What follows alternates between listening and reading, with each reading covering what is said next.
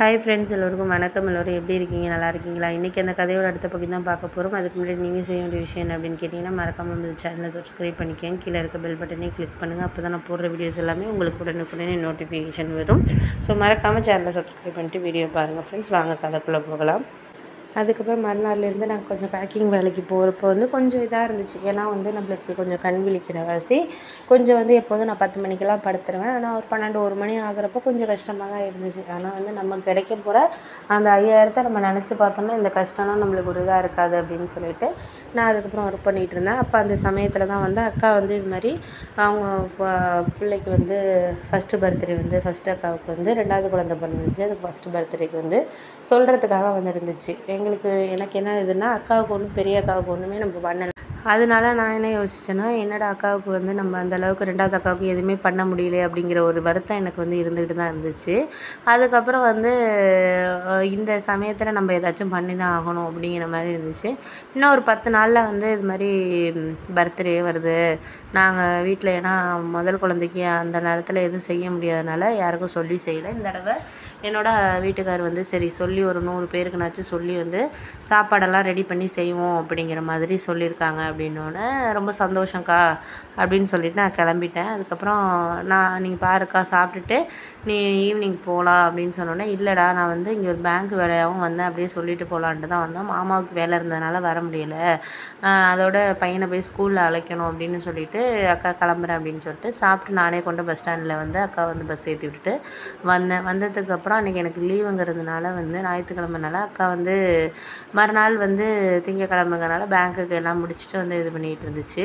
அப்போ தான் நான் வந்து சொன்னேன் இது மாதிரி வந்து அம்மா கிட்டே சொல்லிகிட்டு இருந்தேன். அக்காவுக்கு ஏதாச்சும் பண்ணணுமா? அக்கா குழந்தைக்கு ஏதாச்சும் நம்மளால் முடிஞ்சது ஏதாச்சும் பண்ணணும்லம்மா அப்படின்னோடனே சரி விட அதெல்லாம் பண்ணலாம் பார்த்துக்கலாம் அப்படின்னு சொல்லிட்டு அவன் சொல்லிகிட்டு இருந்தோன்னா சரி ஓகே அப்படின்னு சொல்லிட்டு நானும் ஒன்றும் எதுவும் வந்து சொல்லிக்கல. சரி நம்ம ஏன்னா நம்ம வந்து எது சொன்னாலும் வந்து முன்னாடியே சொல்லிட்டோன்னா அது நடக்கலாம் நடக்காமல் கூட போகலாம். அதனால் முன்னாடியே சொல்ல வேணாம் அப்படின்னு சொல்லிவிட்டு நான் வந்து என்ன யோசித்தேன்னா யார்கிட்டயாவது வந்து என்னோட சேல்ரியிலேருந்து இந்த மாதம் சேல்ரியை வந்து நம்ம யாராச்சும் ஃப்ரெண்டுங்கள்ட்ட கொஞ்சம் ஏதாச்சும் பணம் கேட்டு பார்ப்போமா அப்படின்னு சொல்லிட்டு தோணுச்சு. அதே மாதிரி என் கூட வந்து தீபான்னு ஒரு பொண்ணு வேலை பார்த்துச்சு. அந்த பொண்ணு வந்து கொஞ்சம் நல்ல இது நல்லா பழகும் எல்லார்ட்டையும் என்கிட்ட அண்ணன் மாதிரி நல்ல ஒரு உரிமையாக பேசக்கூடிய பொண்ணு. அந்த பொண்ணுக்கு கொஞ்சம் வாய் அந்த அளவுக்கு பேச முடியாது. ஓரளவு கொஞ்சம் கொஞ்சம் வார்த்தைகள் தான் வரும். ஆனால் நல்ல ஒரு டைப் ஹெல்பிங் மைண்டு எல்லாமே இருக்கிற பொண்ணு.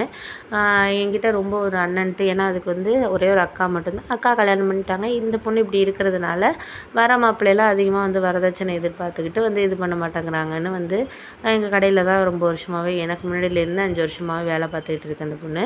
அப்போ வந்து அந்த பொண்ணுக்கிட்ட நான் வந்து சோகமாக ஒரு மாதிரி யோசிச்சுக்கிட்டே இருந்தப்போ அந்த பொண்ணு கேட்டுச்சு என்கிட்ட. ஏன் இப்படி இருக்கிறீங்கன்னா? என்ன விஷயம்? அப்படின்னோடனே அப்புறம் நான் சொன்னேன் இந்த மாதிரி சொன்னோன்னே இதுக்கு தான் நீங்கள் இது பண்ணுறீங்களா ஒன்றும் கவலைப்படாதீங்க.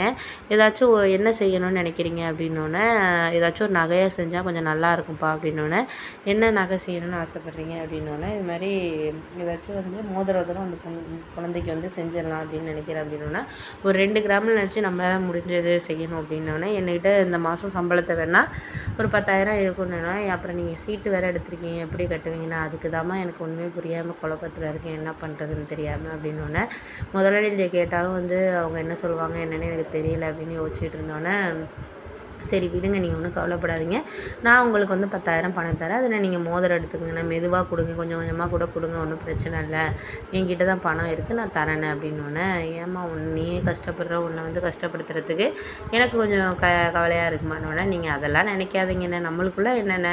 உங்கள் தங்கச்சி கொடுத்தா நீங்கள் வாங்க மாட்டீங்களா? அப்படின்னு அது சொன்னுச்சு. சரி ஓகே அப்படின்னு சொல்லிட்டு அப்புறம் நான் அம்மா கிட்டே சொன்னேன் இது மாதிரி ஒரு இடத்துல கேட்டிருக்கம்மா. வாங்கிட்டு ஒரு ரெண்டு கிராம் மோதிரம் மட்டும் நம்ம செய்யலாம். ட்ரெஸ்ஸு இதெல்லாம் எடுத்து வச்சுட்டு மோதிரம் மட்டும் செய்வோம். அப்புறம் வேணால் நம்ம வந்து அடுத்தடுத்தது ஏதாச்சும் வந்து இப்போ விசேஷம் நடந்துச்சுன்னா நம்ம செய்யலாமா அப்படின்னு இப்போ இதுவே வந்து நீ செய்கிறதே வந்து பெரிய விஷயம் தான்ப்பா ஏன்னா நம்ம இருக்கிற கடனில் இப்போ ரெண்டு கிராம் வாங்குறதெல்லாம் நம்மளுக்கு பெரிய விஷயந்தான் நீ ஏன் அதை பார்த்து இதை போட்டு அதை போட்டு சமாளிச்சுக்கிட்டு இருக்க? எனக்கு தெரியுது ஒன்று அதெல்லாம் வந்து அக்கா எதுவும் நினச்சிக்காது. அக்காவுக்கு தெரியும். நம்ம படுற கஷ்டம் தெரியும். ஏன்னா கடன் வாங்கினதே இன்னும் கொடுக்க முடியாமல் இருக்கிறோம். அதனால் வந்து நம்ம தெரியும். நம்ம முடிஞ்ச அளவுக்கு ஏதோ ஒரு நகை ட்ரெஸ்ஸு செஞ்சுருவோம். நான் வந்து ஒரு கொலுசு வந்து என்னோட இதுலேருந்து நான் ஒரு கொலுசு எடுத்துட்றேன். அதை செஞ்சு வச்சு கொடுத்துருவோம் இப்போ ட்ரெஸ் வச்சு கொடுத்துருவோம் அதெல்லாம் ஒன்றும் நினைக்காது அப்படின்னு சொல்லிட்டு. அதுக்கப்புறம் ஒரு ரெண்டு மூணு நாளைக்கு போய் அம்மா அந்த பொண்ணுகிட்ட பணம் கொடுத்ததுக்கப்புறம் நாங்கள் போய் மோதிரம் எடுத்துகிட்டு வந்தோம். மோதிரம் அப்புறம் பாப்பாவுக்கு ட்ரெஸ்ஸு அதுக்கப்புறம் அம்மா வந்து கொலுசு எடுத்தாங்க. கொலுசு எடுத்துகிட்டு ரொம்ப அழகாக இருந்துச்சு பார்க்குறதுக்கு எனக்கு வந்து ஒரு திருப்தியாக இருந்துச்சு. எல்லாமே ஏதோ ஒரு நகை ஒரு பணம் ஏதோ ஒன்று வச்சு கொடுக்காம நம்மளால் முடிஞ்சு ஏதோ செய்கிறோன்ட்டு ஆனால் அப்பாவால் வந்து எதுவும் நம்மளால் வாங்க முடியாதுன்னு சொல்லிட்டு அவர் வந்து ஆயிரரூபா பணம் மட்டும் கொடுத்தாரு. அந்த காசில் வந்து நாங்கள் என்ன பண்ணிட்டோன்னா பாப்பாவுக்கு வந்து கொஞ்சம் விளையாட்டு ஜாமான் இதெல்லாம் வந்து கொஞ்சம் வாங்கினோம். ஏன்னா உட்காந்துக்கிறதுக்கு சேர் இதெல்லாம் மட்டும் வாங்கி கொடுத்தோம்.